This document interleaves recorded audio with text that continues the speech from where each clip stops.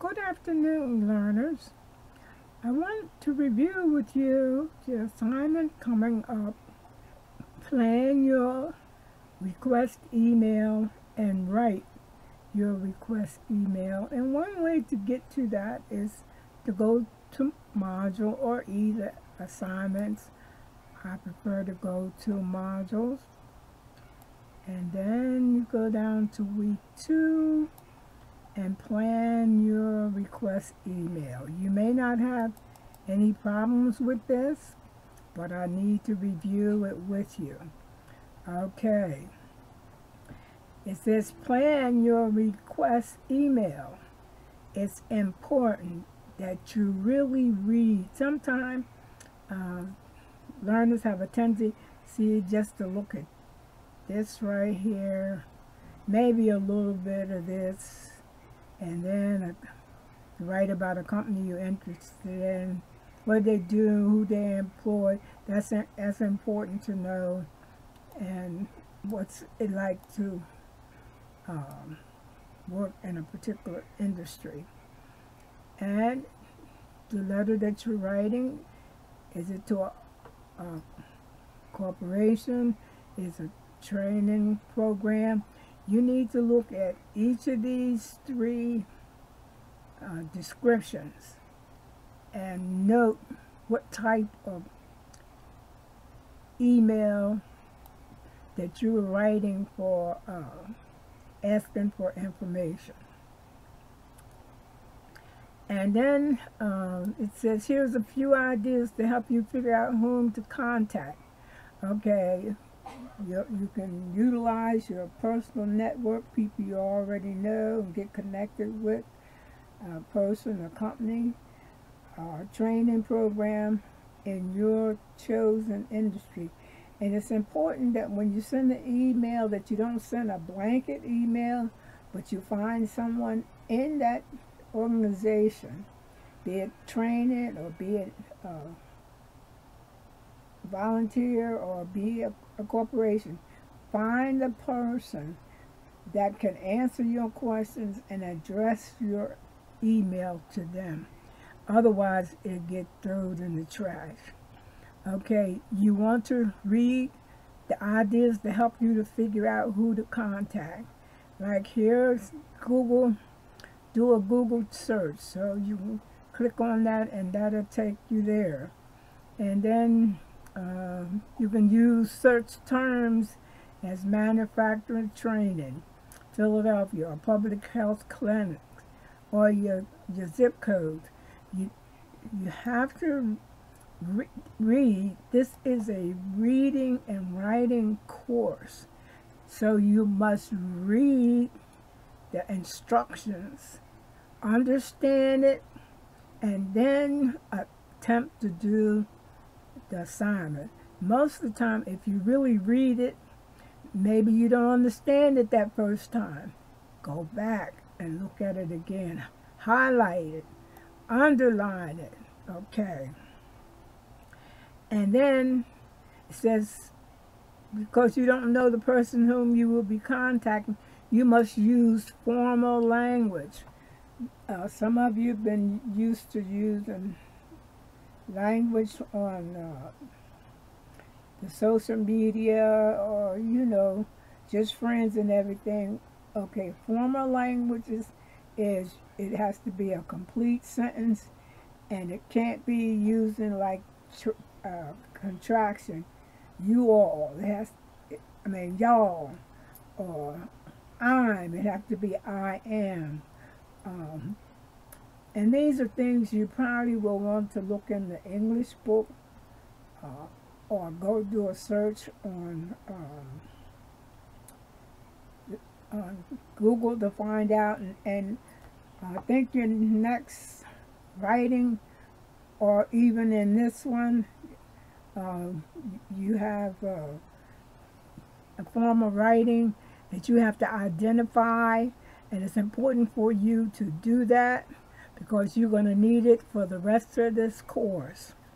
Uh, okay, and it's 1.30. I will be look looking at your work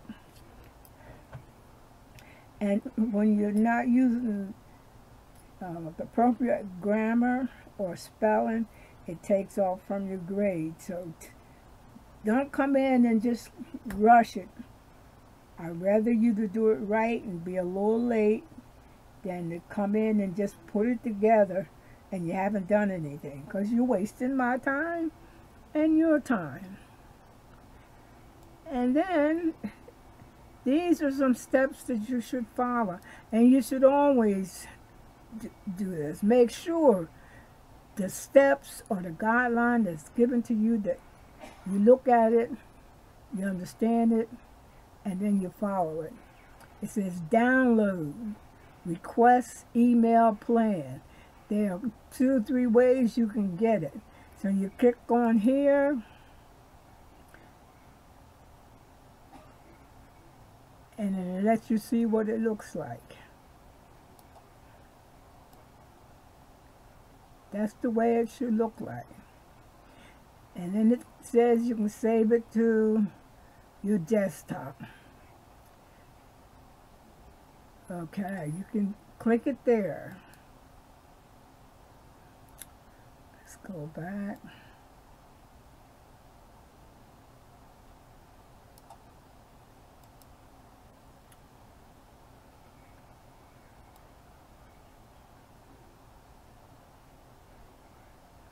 and you can click it here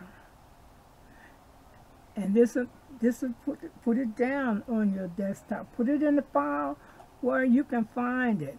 Sometimes you write create a new folder.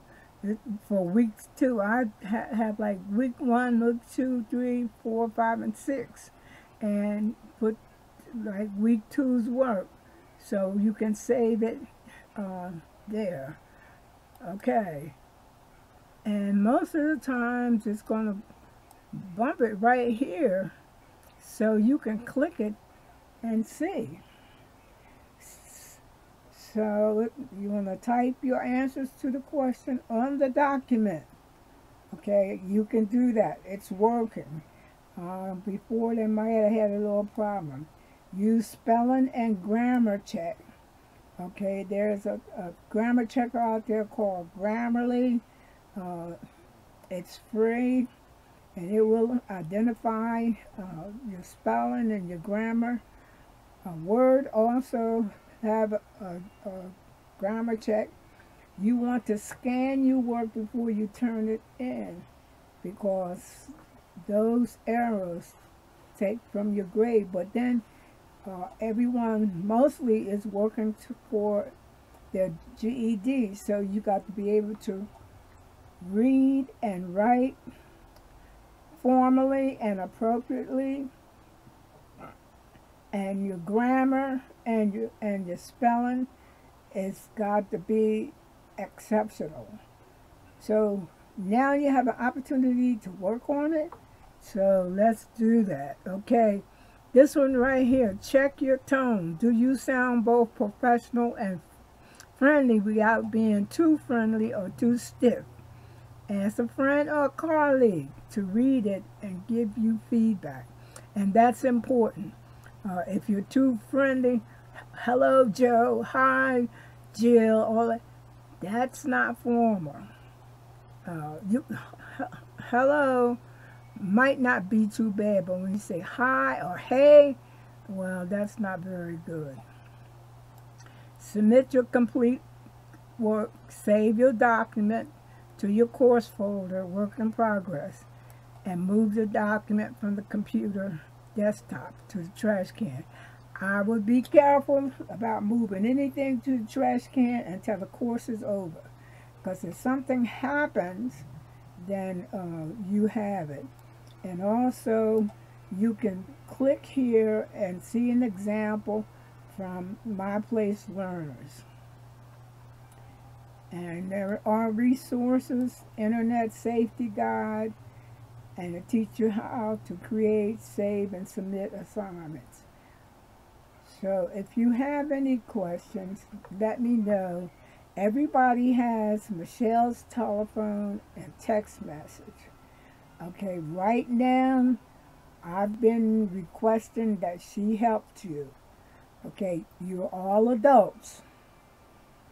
Okay, so you got to learn to ask for help yourself. Because after this class, guess what? Dr. Z is not going to be there to answer for you. So you have to get confidence in yourself and not be thinking that you're ashamed. It's no shame to not to know. It's a shame that there's help for you and you fail to take it. So you work on that. You work on that. Okay, that's all I have for today. Goodbye.